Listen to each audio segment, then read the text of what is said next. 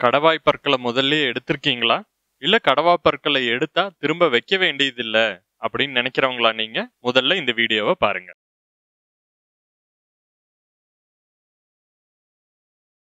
வணக்கம். நான் உங்கள் பல் மருத்துவர் டாக்டர் வித்யாசாகர் பேசுகிறேன்.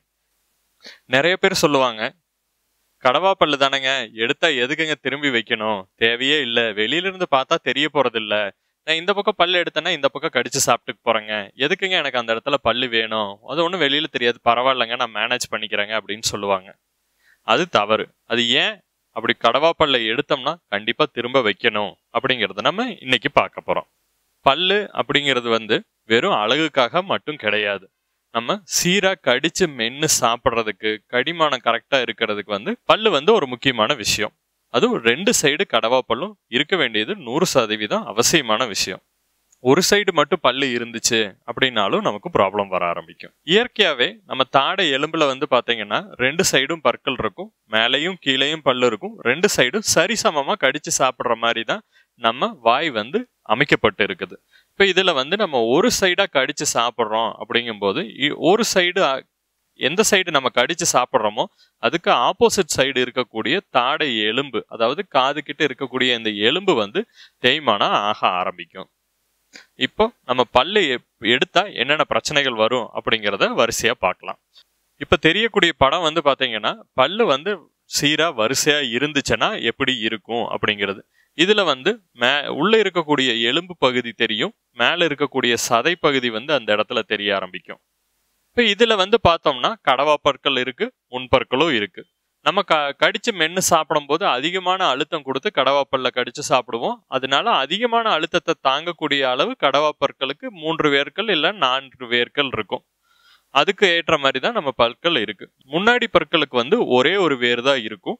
அதில் அந்த அளவு நம்ம வந்து கடித்து மென்னு சாப்பிட முடியாது. இப்போ கடவாய் பற்களில் வந்து ஒரு பல்லை எடுத்துட்டோம் அப்படின்னா என்ன ஆகும் அப்படிங்கிறத பார்க்கலாம். பல்லை எடுத்துட்டோம் அப்படின்னா அந்த இடத்துல இருக்கக்கூடிய எலும்பு எலும்புல வந்து இரண்டு விதமான மாற்றம் நடக்கும். ஒன்று வந்து பற்கள் அந்த இடத்துல இருக்கக்கூடிய எலும்பு தேய்மானம் ஆக ஆரம்பிக்கும். அந்த எலும்பு தேய்மானம் உயரம் விதத்திலையும் அகலம் விதத்திலையும் தேய்மானம் நடக்க ஆரம்பிக்கும்.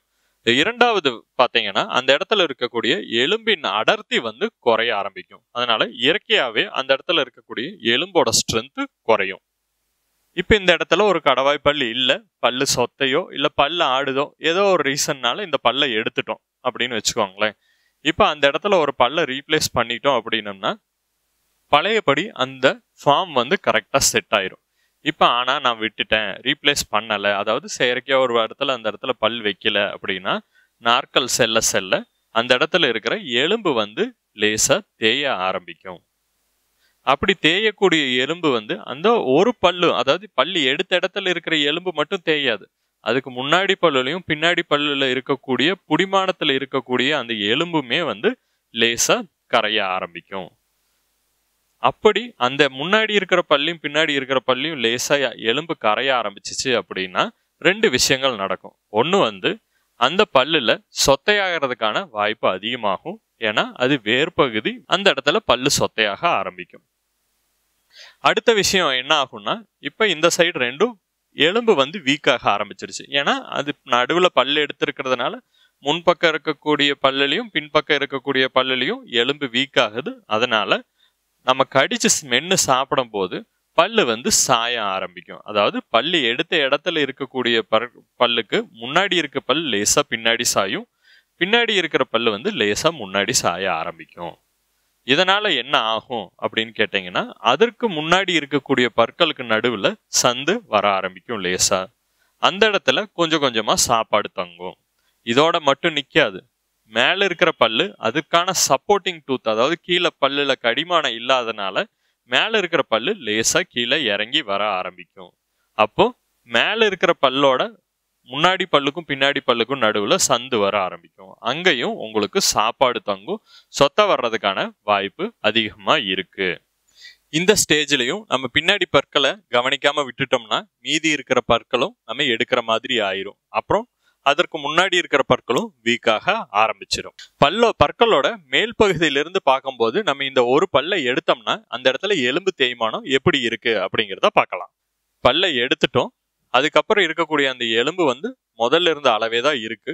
அந்த இடத்துல பல்ல நம்ம வைக்கல அப்படிங்கும்போது அந்த இடத்துல இருக்கக்கூடிய எலும்பு வந்து ஒரு கணிசமான அளவு வந்து தேஞ்சு குறைய ஆரம்பிக்கும்.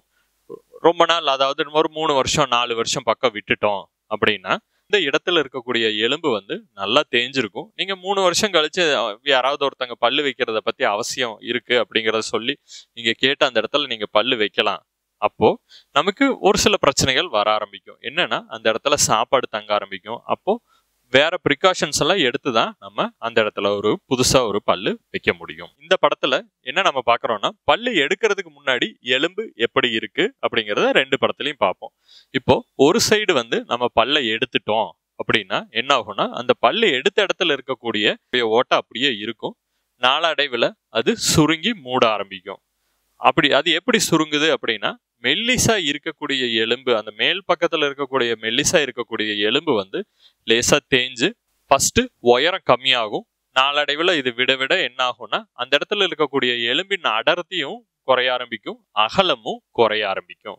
ஆனா நம்ம இதை முதல்லயே பார்த்து பள்ளி எடுத்த உடனேயே அந்த இடத்துல கிராஃப்ட் பண்ணி அதாவது செயற்கை எலும்பு பொடியோ பிஆர்பியோ வச்சு கிராஃப்ட் பண்ணி அந்த இடத்துல இம்டல் இம்ப்ளான்ஸ் உள்ள வச்சு அந்த இடத்துல பல்லு நம்ம வச்சுக்கிட்டோம் அப்படின்னம்னா அந்த எலும்பு அப்படியே மெயின்டைன் ஆகும். எலும்பு தேய்மானம் ஆகுது அப்படின்னு நம்ம சொல்கிறோம் அது வந்து பல்லு எடுத்த உடனேவா தேய்மானம் ஆகும்? இல்லை. எப்படி தேய்மானம் ஆகும் அப்படின்னு பார்த்தோம்னா பல்லு எடுத்த இடத்துல இருக்கக்கூடிய எலும்பு வந்து நம்ம திரும்ப அந்த இடத்துல ஃபிக்ஸடாக பல்லு வைக்கலைன்னா வருஷத்துக்கு ஒன்றையிலிருந்து ரெண்டு மில்லிமீட்டர் எலும்பு உயரத்துலையும் அகலத்திலையும் குறைய ஆரம்பிக்கும். அப்படி பார்த்தோம்னா நம்ம கடவா பற்களை எடுத்தோம்னா நமக்கு நல்லபடியாக திரும்ப ஒரு பல்லை வைக்கணும் அப்படின்னா நீங்கள் ஒரு வருஷத்துக்குள்ளே வச்சா கூட போதும். முடிஞ்ச வரைக்கும் பல்லு எடுத்த உடனே பல்லு வச்சுக்கிட்டீங்கன்னா வேற எந்த பிரச்சனையுமே வராது.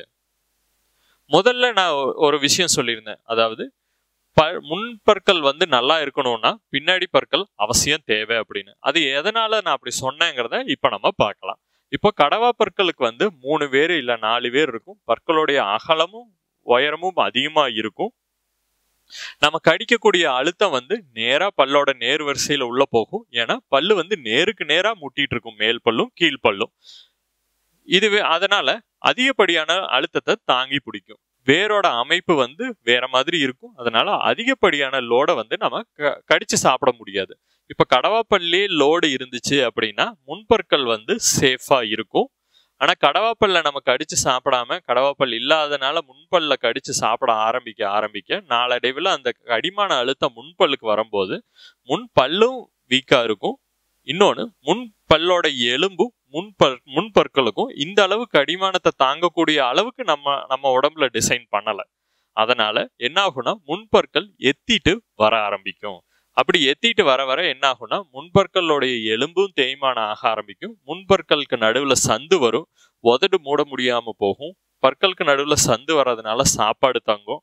வெளியில இருந்து பார்த்தா அசிங்கமாக தெரியும். அதனால நம் நீங்கள் பல்லு எடுத்து ஒரு அஞ்சு வருஷம் ஆறு வருஷம் கழித்து முன்னாடி பல்லை சரி பண்ணணும் அப்படின்னு வந்தீங்கன்னா கடவா பல்ல வச்சா மட்டுமே தான் முன்பற்களை சரி பண்ண முடியும். ஏன்னா கடவாப்பல் இல்லைன்னா அதிக லோடு முன்பல்ல இருந்துகிட்டே இருக்கும். நம்ம முன்னாடி நீங்க என்னதான் பல்லு வச்சாலும் இல்லை பல்ல அடைச்சாலும் அந்த அடைச்சதோ வச்ச பல்லோ நிற்காது ஏன்னா லோடு அதிகமாக இருக்கும்.